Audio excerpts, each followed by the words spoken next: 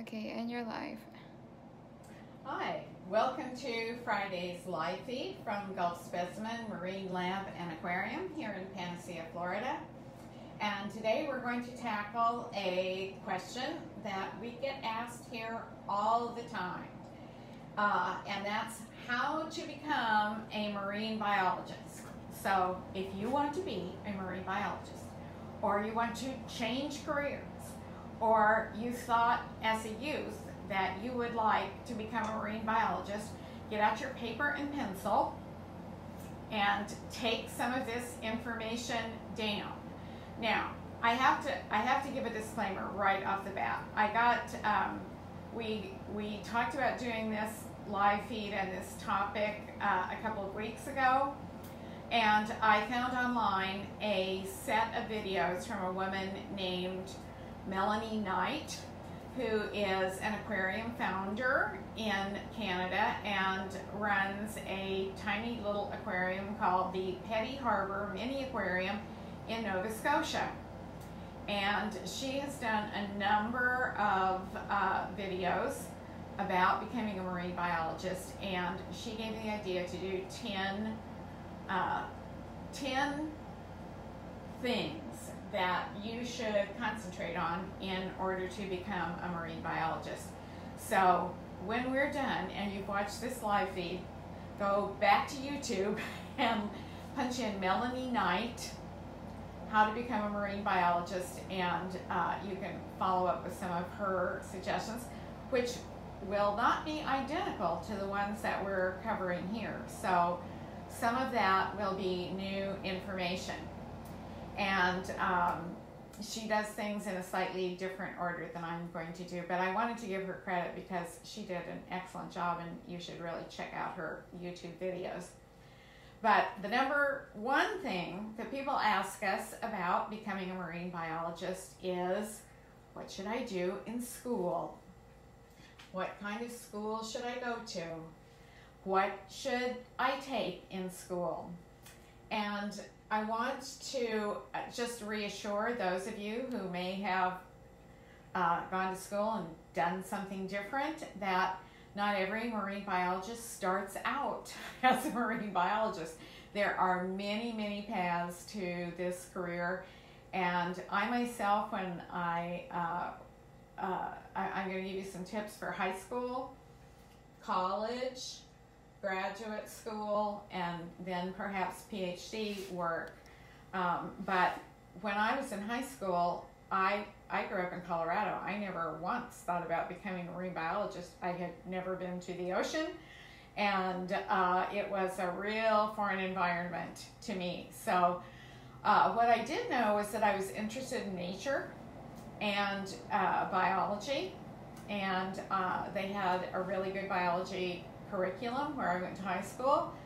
And so I got a really sound uh, background in that.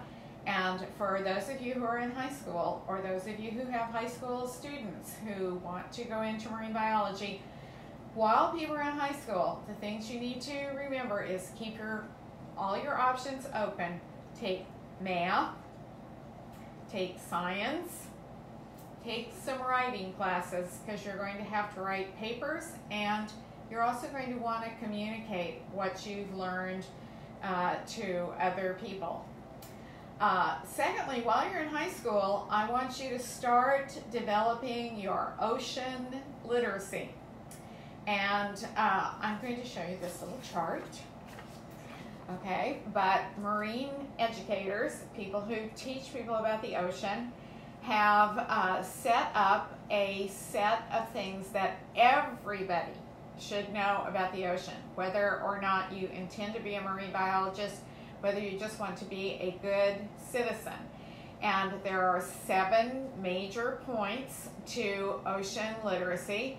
And if you just plug into Google ocean literacy, it will take you to this wonderful site that will go over those seven questions tell you how you can increase your knowledge in each of those areas. And you can even take a little test to see what your ocean literacy score is right now. And you can repeat that test over and over to see whether or not your knowledge is growing over time. So this is a really important site in helping you um, self-educate, which is going to be very important uh, in any anyone's career. Because even when you get out of college, you're probably going to end up doing something that you didn't necessarily learn in school. And so learning to self-educate is really important. Okay, after you graduate from high school, you are of course going to start looking to go to colleges. And I have two suggestions. Number one, I suggest to everybody that they go to a community college first. Get those first two years out of the way at a school that's close to you and affordable. And at a community college, the instructors, that's what they do. They are not involved in lots of research. They are really, really educators and they really want you to get the basics. So for math, science, humanities, social sciences, all of those courses that you need to become a college graduate and that they have you do in your freshman and sophomore year, I would advise taking those at a community college where it's affordable and where it's close to you.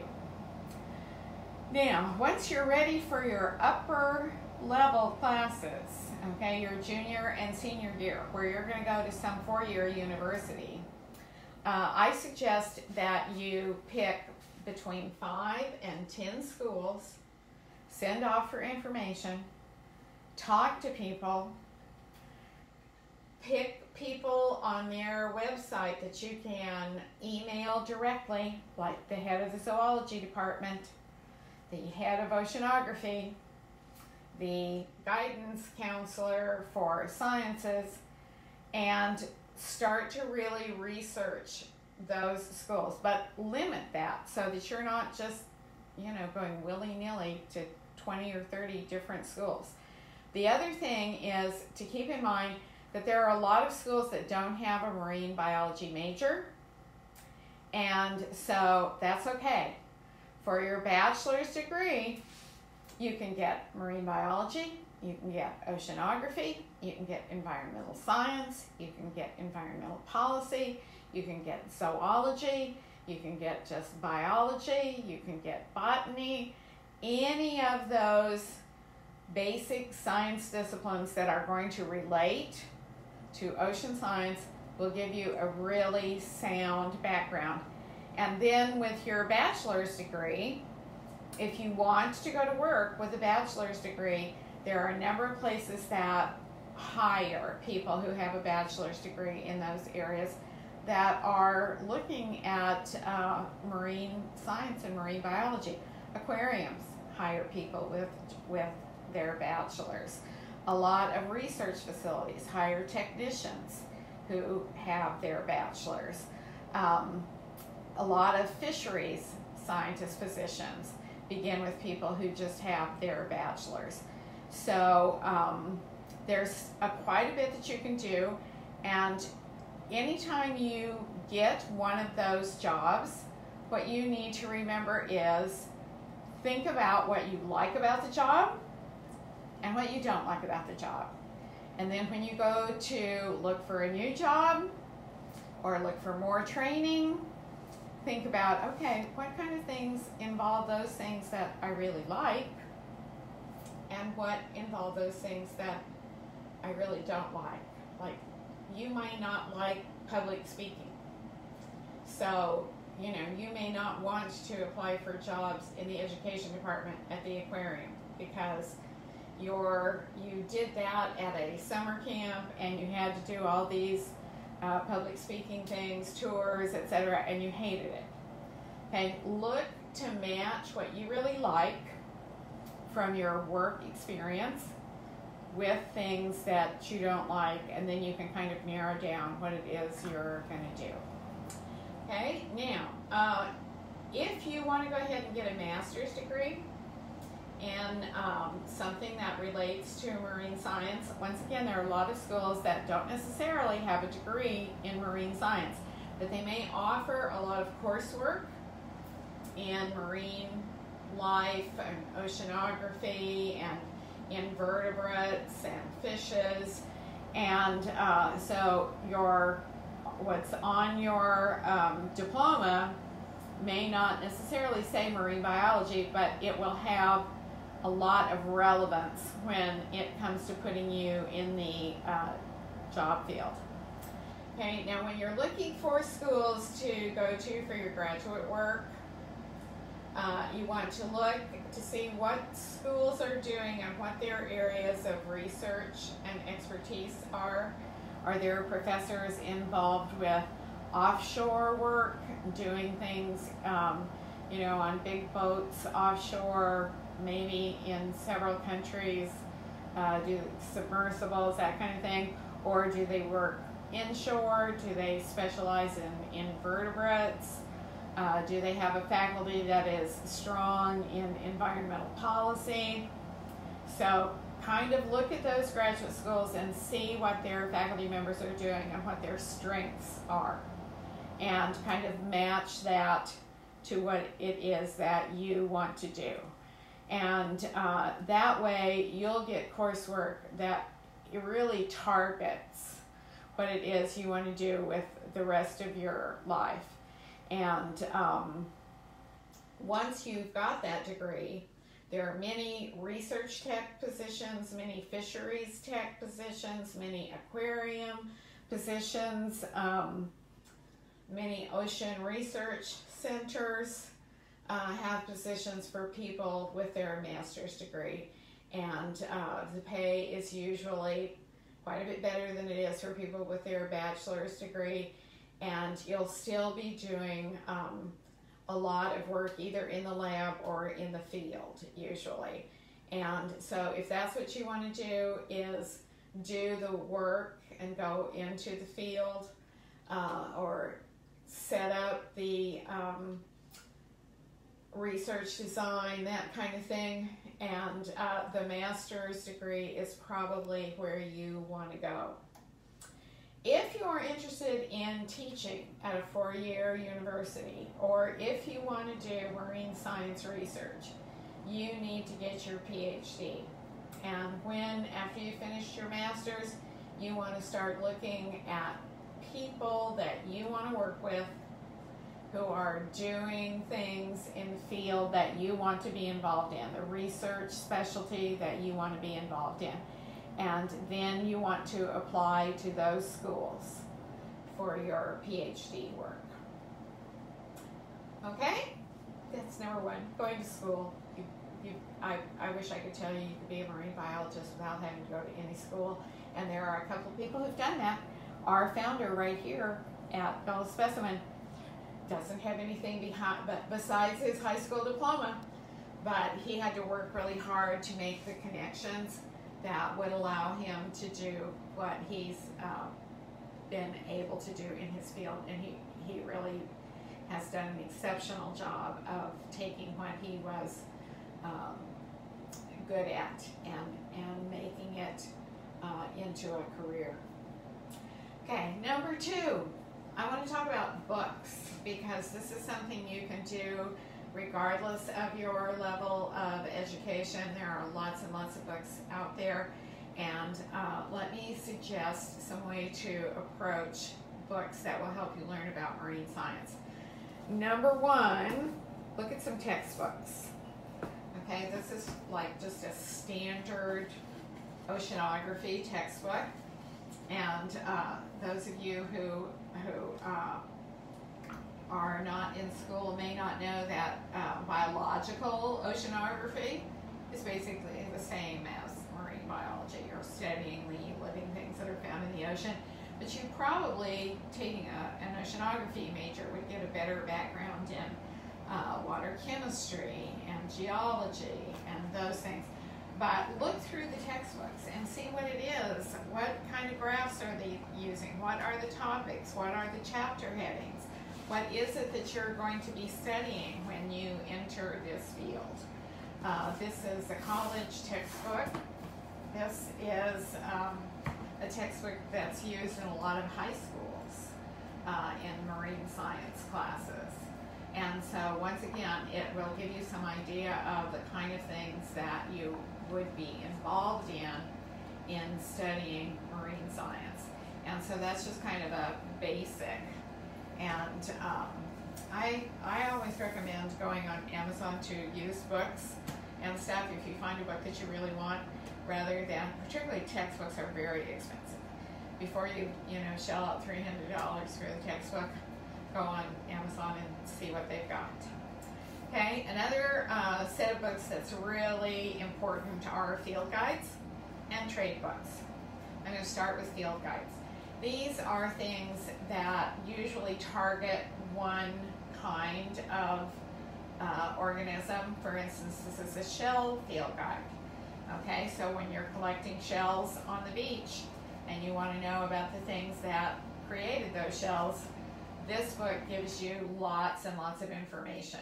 And uh, usually the introduction to these field guides gives you a ton of information about the group. So having a good set of field guides is really important. I've got I've got one for seashells, I've got one for fishes, I've got one for um, aquatic plants and algae. I have some for invertebrates. Um, I, here's one I'm going to show you. This is uh, one for Florida, the living beaches of Florida. And this is just, it has great pictures of just virtually anything you might find on the beach, from seashells to other things that wash up and uh, gives you a pretty good deal of information about them so that you can look them up further if you want to. And here's another of my favorites. This one's falling apart because I've used it so much, but this is a field guide to the Atlantic and Gulf Coast. And once again, it's uh, divided into uh, parts. It's got a part of on fishes, it has a part on sponges, it has a part on algae, and so, um, and it's got great color photographs in the uh, center of the book so that you can take your specimen and see if you can find it and find out more information. Now, trade books are things that are um, neither textbooks nor field guides, but may address things um, about the ocean. And I'm going to show you my favorite trade book. I recommend it to all of our volunteers here and to many other people, teachers. I recommend it all the time. But this is a trade book that was put out in the 1980s. It's called The Seaside Naturalist. And uh, it's, it's got chapters on sponges, chapters on fish, chapters on whales, and it's very, very easy to read. That's why I recommend it all the time. It's the reading is just very, very easy. There's lots of illustration. Every page is divided into about half text and half illustration. So um, it, it makes it easy to read and um, you don't have to read it all at once. You can read it in little sections. And so this is one of my favorite trade books about the ocean. And then, I get real excited now, you, you want to read some marine science classics. Classic books about the ocean that have been around for a long time. Okay, here are some of my favorites. Rachel Carson, who many of you may know as the author of The Silent Spring, who warned us about the dangers of DDT and actually her book led to banning that pesticide that was killing off birds around the world. So very, very important in the environmental movement. But Rachel Carson was a marine biologist and her first books were about the ocean. And they were, she has three books out that were all bestsellers way before Silent Spring. This one that's called The Edge of the Sea uh, talks about the Atlantic coast of the United States. It starts up in Maine, and uh, there are five chapters. Uh, the Maine, New England chapter is chapter one, and it goes all the way down to South Florida and the Everglades and the Keys, and talks about our coastline. The uh, other two are the sea around us, which uh, talks about the ocean in general, and uh, this one under Sea Wind, uh, all of which have lots of great stories. She's just an excellent writer about things that live in the ocean, from eels to uh, trout and salmon. It's just very, very interesting reading because she's a really good author.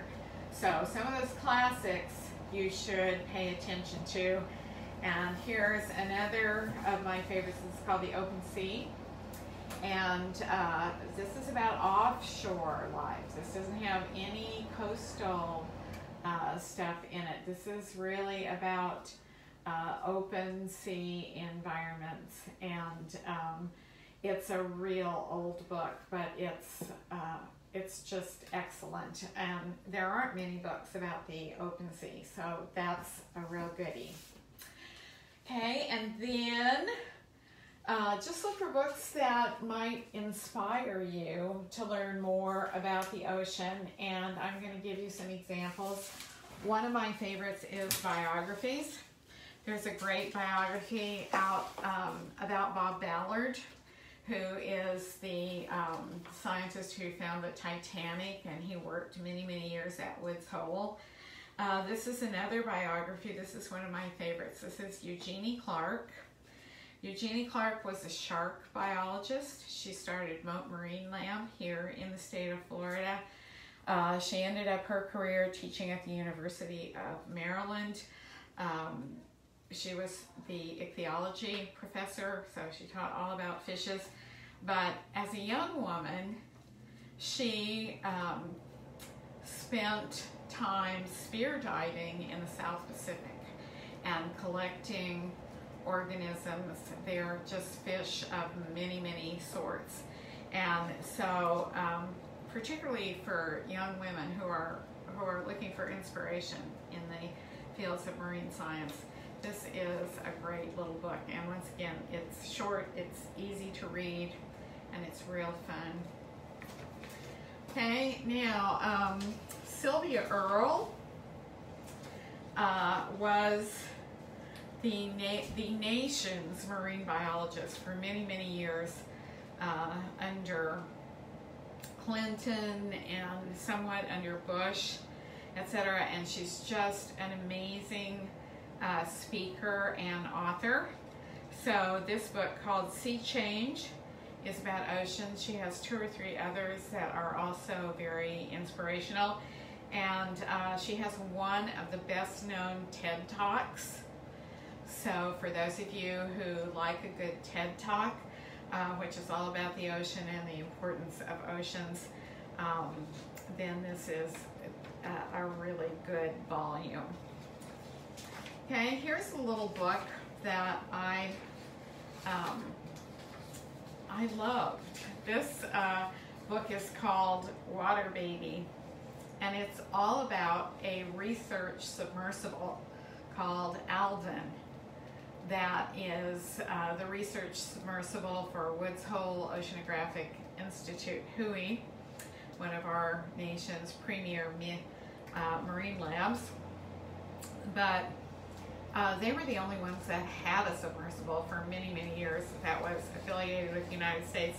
So if you were going to do anything like below 200 feet, you needed a good submersible or submarine. And uh, Alvin has been reconfigured many times, gone on many, many, many expeditions. And this book talks about the expeditions that um, have taken place uh, involving that submersible. Here's another one that uh, is kind of interesting. This is The Search Beneath the Sea. This is a book about the search for um, the coelacanth. In the 1950s, a, uh, a scientist was given a fish that at that point in time to the scientific community was known only as a fossil, and this was a live specimen. It's called the coelacanth, and it was an example of lobe-finned fishes. the group of fishes that gave rise to amphibians. So it was very important as far as the history of vertebrates on the planet. And this is, it took another 20 years before they got another specimen and we were able to find out where these fish were living um, and were not just fossil examples in the world's oceans. So this one is really kind of fun. And then I wanted to highlight some of um, our founders' books, which are the reason I came to Gulf Specimen to begin with. Uh, our founder is a gentleman named Jack Rudloe who began a marine specimen company way back in the late 50s, early 60s.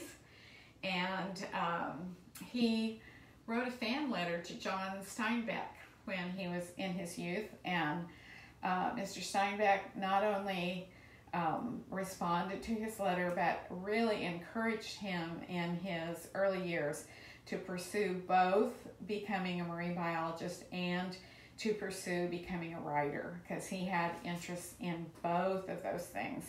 And uh, that, that really helped set him on a career path where um, he really has made a difference in uh, conservation here in the northern Gulf Coast area.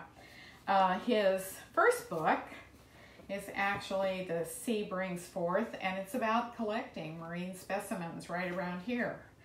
Another important book, this is where I first became introduced to Jack Rudloe, is The Erotic Ocean. I saw Jack on the Today Show way back, hmm, I want to say in the 70s.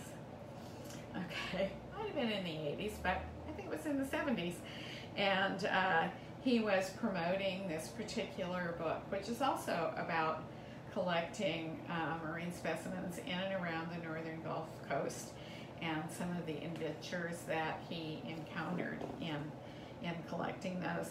And the whole back section of the book uh, kind of breaks those organisms down into groups and, and talks about them. And then uh, this book, The Living Dock, uh, talks about collecting things that grow on docks and pilings and the bottom of boats and that whole community of organisms that need something hard to sit down on and um, we don't have much of that in the Gulf but a dock will provide that and that kind of details, this book details that community and does so in a very, very entertaining way. Okay, so point number one, stay in school, know about the schools you want to go to as much as possible. Number two, read as many books as you can about marine science, and we've tried to give you some ideas there. Number three, volunteer. Volunteer so that you um, get several things. You will get experience in the field of marine science. You will get opportunities to see and learn a great deal that you might not find anywhere else. You will meet some great people, many of whom are much more knowledgeable than you are in the field of marine science, and they can help you out. And you'll make a difference. Usually, those places that need volunteers are places that are trying to uh, better our world in some way or other. So please know that um, you will get this really warm feeling about being able to make a difference. And um, finally, studies have shown that volunteers uh, relieve stress while they're at their volunteer job and that their health increases and improves due to their volunteerism. And there's quite a big body of scientific evidence that indicates that that is the case. Not to mention the fact that you'll have fun, usually, if you're volunteering. Sometimes it'll be a lot of work, but most of the time you'll be learning and so it'll be it'll be really fun. Let me give you some ideas of where you might volunteer um, if you're interested in marine science. Aquariums are always a good place. Dive shops are a good place. University labs are a good place. Rescue facilities are a good place. And parks, national, state, and county parks and preserves are also really good places where you can volunteer, you can learn a lot, and you'll get some real work experience towards your goals in marine science. So that's number three. Number four, you should start looking for mentors and develop a plan for getting people who can help you further your goals in marine education. Make a list of those people that you've met, those people you've heard about, those people that you've encountered on social media, those people who are uh, you ran into in some Google article, okay? Make a list of those people who you think can help you out, okay, in your goal of becoming a marine biologist so that you don't have to give up on it, okay? So once you have your list, you want to approach those people and uh, see if you can have a 30 minute phone conversation with them. And you want to prepare for that phone conversation by preparing a number of questions that you want to ask them. If at the end of that 30 minutes you feel really good about that person, you feel connected with that person, then that might be a good person to officially ask to be your mentor. Now, here's the key to a mentor. You must respect their time and their responsibilities. Okay, so you want their help, but you don't want to just eat their life, okay, by asking stuff, you know, a, a bunch of different times. So what you want to do is you want to have some specific goal in mind when you approach a mentor. Like you want to uh, ease the transition of going from your bachelor's degree to graduate school and you want some advice on getting into good graduate schools that will mesh with your skills and uh, put a time frame on it. Say, you know, can you work with me for five months? That's how long I've got to get all of these applications in and get them ready. Can we meet on Skype once a month? Okay, and that sets down some parameters and that, uh, that way you have a committed mentor if they agree to that and you're not wasting your mentor's time. You really have, you need to work at developing that so that you get the information that you need for each little stage as you go through your career uh, development. And then number five, we're just going to go through five today. Next Friday, we'll go through six through ten. Number five, immerse yourself. Get wet. you have got to spend time in the water. If you can't swim, learn to swim. That's your first goal, okay? You have got to become a competent swimmer. Second, learn to snorkel. Buy yourself a good face mask, a good snorkel so that you are comfortable in the water. Take an introductory snorkeling class and then carry that mask and snorkel with you in the back of the car all the time whenever you encounter a good place that you think might be a good place to snorkel along with a buddy of course okay then you're prepared uh, to do that the more time you spend in the water, the better off you're going to be. My biggest, uh, the thing that made me the best marine biologist that I could be is that I did an internship in the Keys and then I worked at that location for another two years where I spent about six hours a day in the water.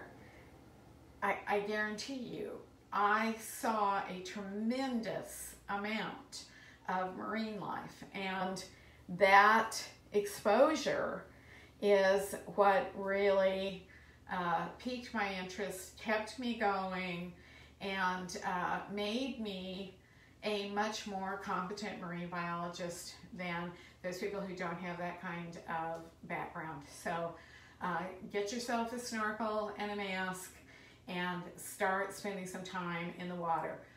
Go through a scuba class. Okay, I'm not a big scuba fan. If I can snorkel over scuba, I will do it every time. but there are some things that if you want to see them, you need to use scuba.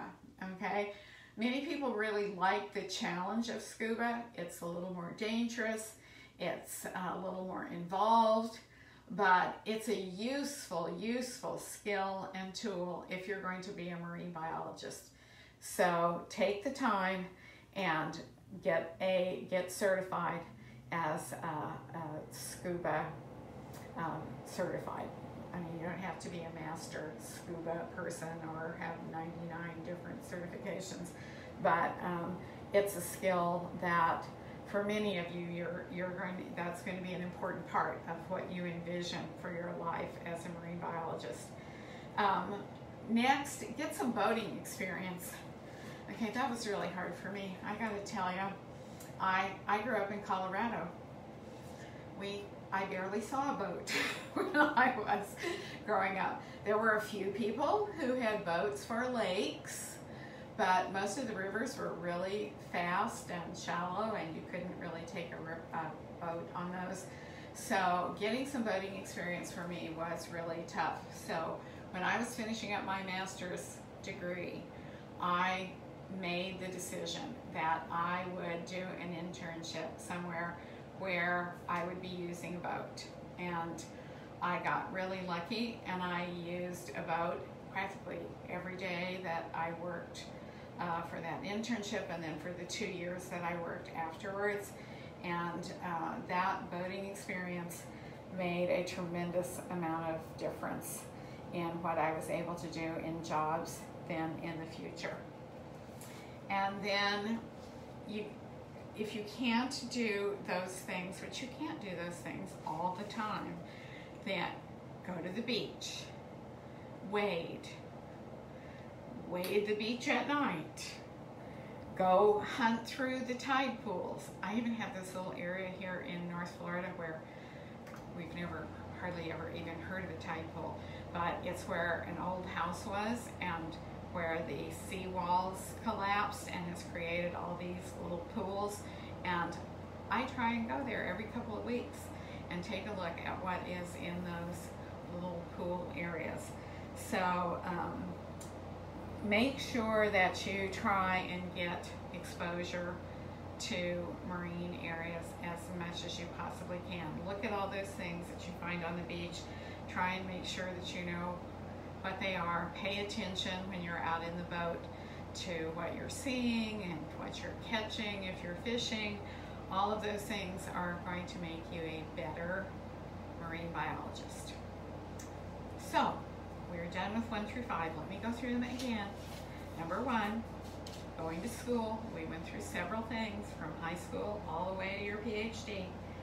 Read books because that will give you a ton of information. If you're not good at reading, get them on Audible. And, uh, you know, on your way back and forth to school or your way back and forth to work, um, listen to those books. Number three, volunteer, do an internship, whatever, to get yourself some experience, to see uh, new things, to get you some opportunities that will increase your knowledge and your skills.